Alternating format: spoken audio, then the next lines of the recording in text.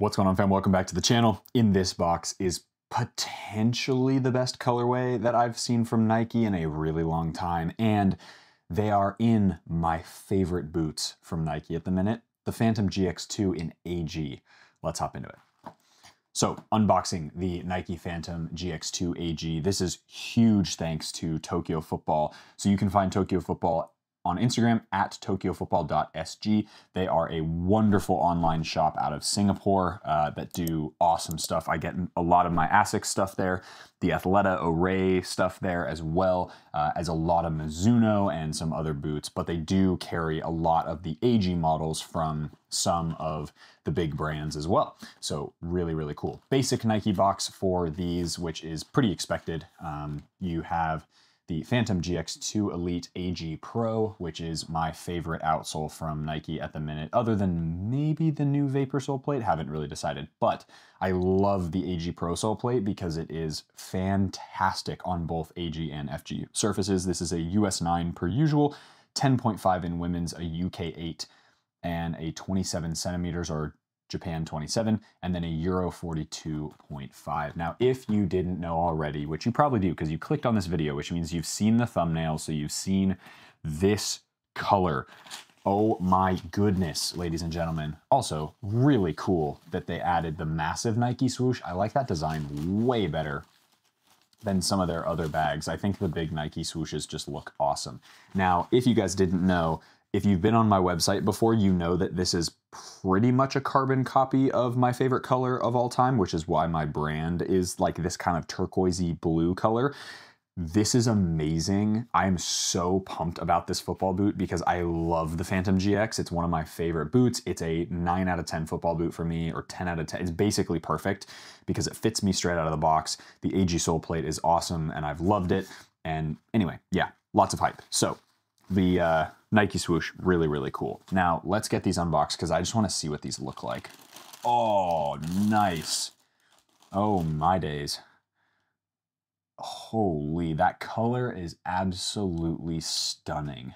And I really like what they've done with this sort of metal, it's like a metallic slightly darker material that like changes depending on where the light hits it.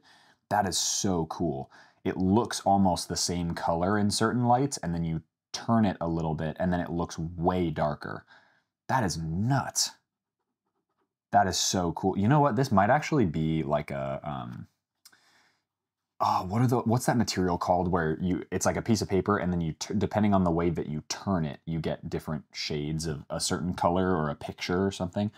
Anyway, there's your AG sole plate as well, which I've had on multiple boots now. And uh, let's get this one out of the box. Nothing else in the box, so we'll get this down. Here you go.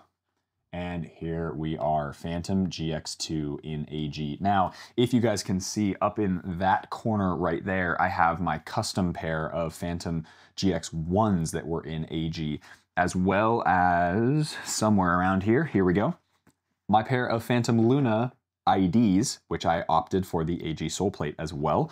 Super cool. So the AG sole plate, I've worn this sole plate for a really long time. It's been about a year and a half, basically since the beginning of GX1. And the reason why I love it so much is because it's just no nonsense. Like there's nothing that I would do differently about the sole plate. It's well balanced. Yeah, it could use maybe a little bit more structure, but that's being pretty nitpicky feels super grounded here in the forefoot, which is of course where most footballers are gonna be stepping. You're gonna be on your toes most of the time.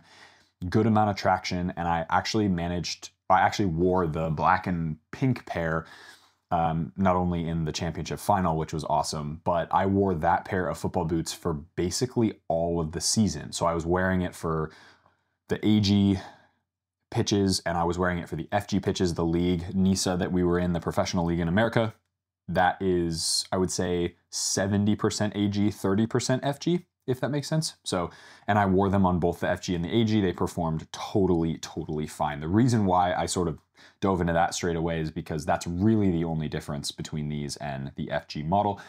But this sole plate is great. I would highly, highly recommend it. Now, from a tech features perspective, The GX2 is, in my opinion, an improvement on the GX1, which was a fantastic football boot. I think it will go down as one of the best football boots of all time from Nike just because that is, uh, it was a massively popular silo. It introduced GripKnit, which is, in my opinion, one of, if not the best technologies from Nike in the last many, many, many years because of the fact that this actually does what it's supposed to. It's not a gimmick this GripKnit is actually grippy and actually makes a substantial difference in the way that you are able to manipulate spin and contact the ball, so, which is really, really cool. So this now is a one-piece Nike grip uh, Nike GripKnit upper, which is a sort of three-part series uh, or three-part material between Flyknit, which you get here through the lacing system area, which we've seen on many different uh, Phantoms in the past as well.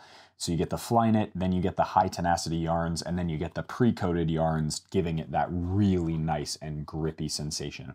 GripKnit also, which this boot doesn't have ACC, and I actually got a good question the other day because people were like, well, the takedown model of this boot actually has ACC tech on it, and these don't. Well, the ACC doesn't need to be put on this boot because the GripKnit is actually naturally water resistant anyway. Because of the kind of waxy sensation, it wicks water straight away. So you're actually not going to get wet at all from this pair of football boots, uh, whereas the takedown model does not have grip knit, and so you do need that extra bit of material or coating over the top to make it a little bit less, uh, I guess, water phobic, as you as you might say. You this this one piece upper is genuinely incredible in my opinion. The shape of the boot is very very nice for wider foot shapes especially here through the midfoot area. It's a little pointy in the toe box but as i've eh, said multiple times in videos about these boots and just the experience in playing in them, it doesn't really make that much of a difference because the upper breaks in so quickly. Um, that's one thing that I think they did such a nice job with this grip knit is it just kind of levels up what we got in the previous generation, which is really, really cool. The asymmetric lacing system is a pretty standard for Phantoms of the past. I've got a pair of Phantom Venoms here. Obviously, the um, GX1, GX1. Uh, here's the Phantom GT1. Uh, let's see, what else do I have? Hypervenom Phantom 3 down there, Hypervenom Phantom 1, Phantom Ultra. Like, I've got a lot of Nike Phantoms because it's one of my favorite, it's probably my favorite boot dynasty or silo that's ever been created just because they fit my foot so well. The asymmetric lacing system is like one of the key markers of a Phantom series from the Nike brand. You had it all the way back on the T90s. You had those crazy T90s with the kind of lacing on one side and on the other, but it's always to create a better shot experience, crossing experience, striking ball experience in this medial side of the kind of the forefoot and the midfoot, which is really great. Does it add anything spectacular? Uh, no, not really, but it does add a little bit of a larger surface area, which means more grip knit, which means more spin or dip on the ball if that's your thing.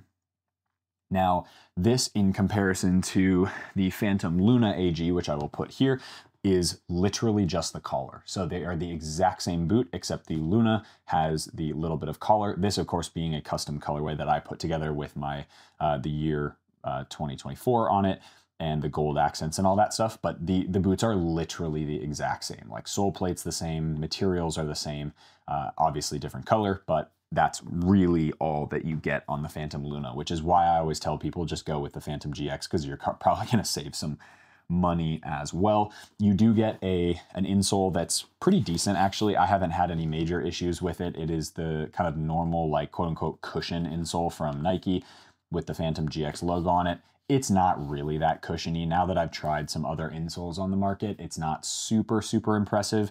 Um, I think it's nothing compared to the one in the Skechers boots, which I am going to completely forget the name of, which is really frustrating. Oh, I actually have a pair right here.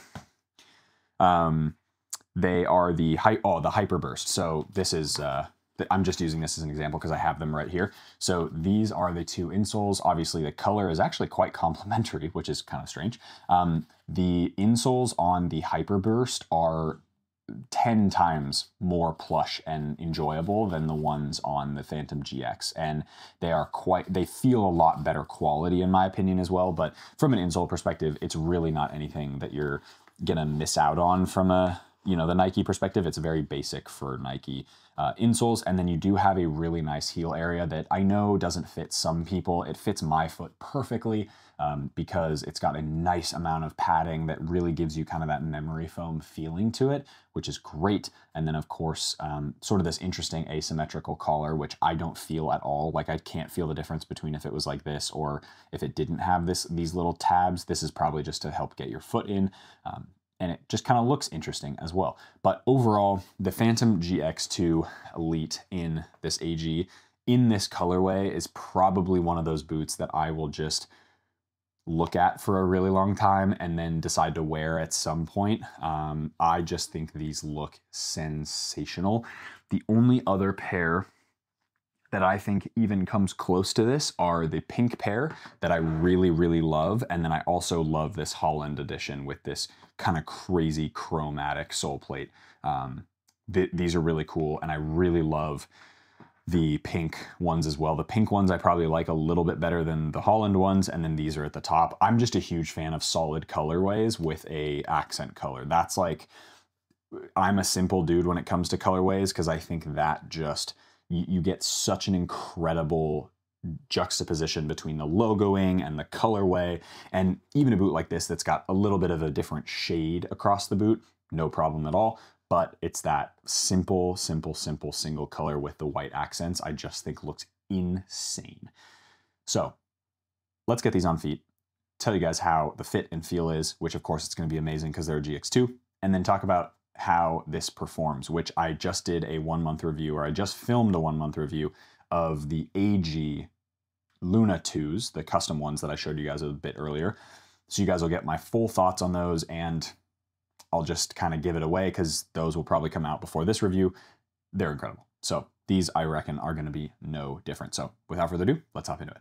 All right, then, out here in the backyard with the absolutely stunning Phantom GX2 AG. Let's hop into it. These look so good in the sunlight.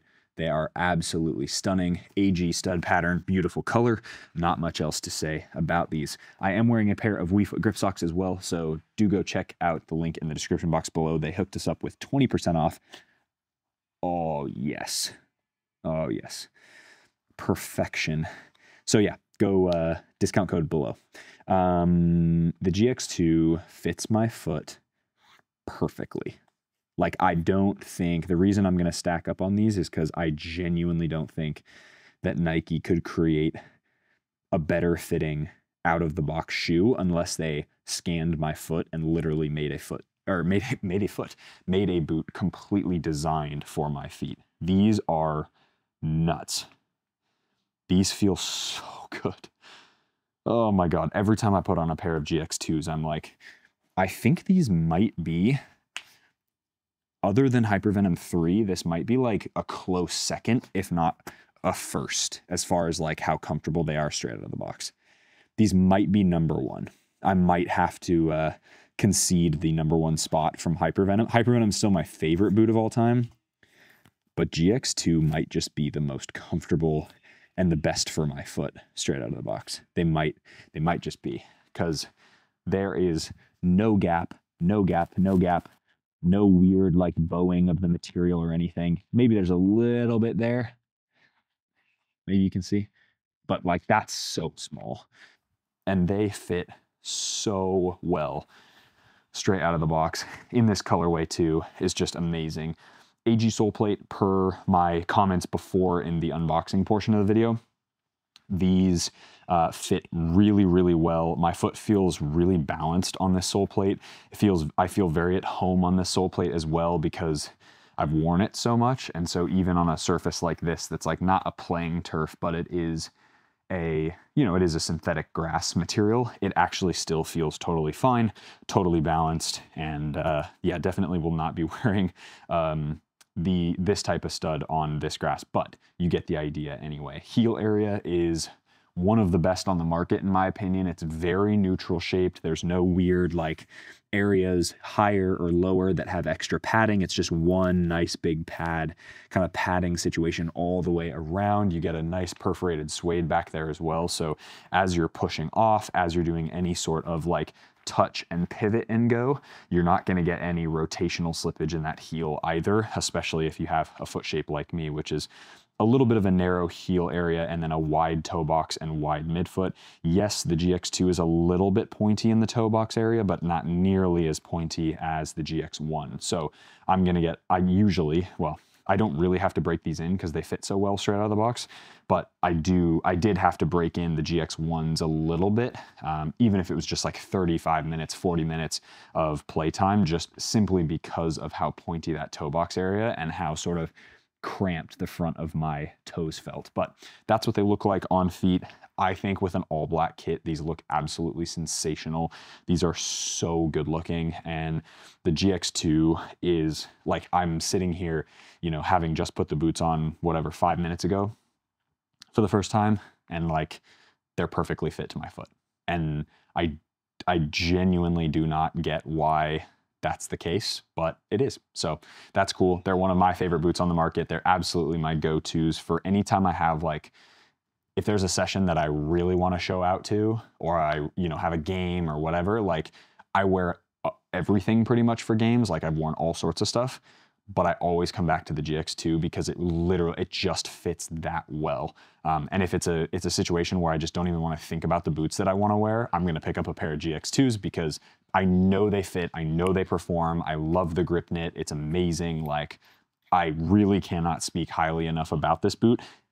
However, the big asterisk is if you have thinner feet or you have a little bit of an awkward shaped foot that's not kind of wider in the midfoot or wider in the toe box area, this shoe probably will feel super awkward and really bulky. Um, uh, not bulky. It will it will look like you have a ton of extra material around the boot because it is a one piece upper. So the the upper kind of has to fit to the shape of your foot. So sizing is of course really important. Now touch on the ball, especially with a match ball like this from Mitre. Um, it you know, you can definitely notice the stickiness of the grip knit, which is great.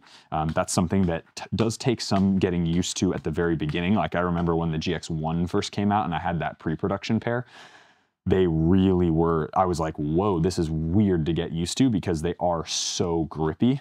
It's a little bit more manageable with the GX2. Um, so when you're playing the ball and you're passing and you're doing any sort of ball manipulation, no problem. And part of that is due to uh, this pattern here that we get from the Luna 1, which is this like kind of cyclone-esque pattern on the medial side of the midfoot and the forefoot, of course, and then on the lateral side, although you don't really feel the difference that much in this area, but a lot with kind of less surface area as the shoe is, or as the ball is hitting kind of these little ridges, you're not going to get as sticky of a sensation unless you really try to strike the ball, which is where these really shine. Like the hitting a passing, hitting long balls, passing with these, hitting a bended shot or a cross, or even just shooting in general with the Phantoms, it's an absolute joy. So for me, this is a shoe that's gonna best fit players who have a foot shape kind of heel area.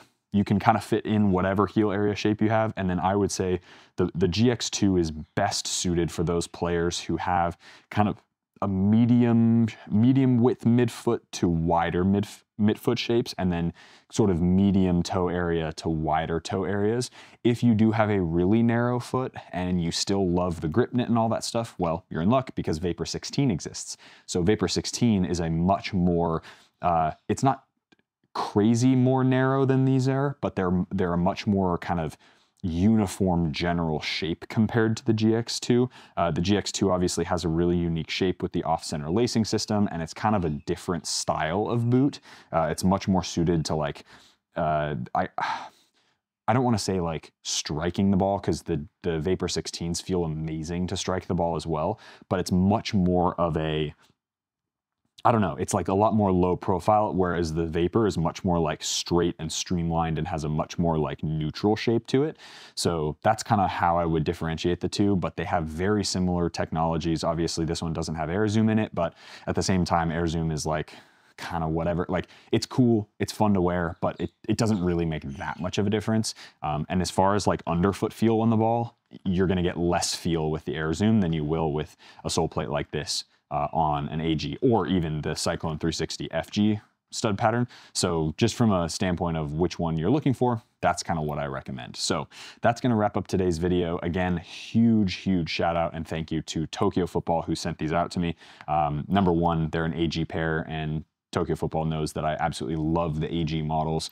Um, and this is like my favorite colorway ever. So this is super, super sick. So thank you to Tokyo Football. Go follow them on Instagram, go check them out because they have some amazing stock of all the crazy stuff that you don't usually get from um, like the normal retailers in Europe and the US and even Australia. So definitely, definitely go check them out and hope you guys enjoyed that video. Discount code for the WeFoot Grip Socks WeFoot Grip Socks are in the description box below. And uh, like the video if you got value from it. Subscribe to the channel if you haven't already. As always, be awesome. Take care. I'll see you guys in the next video.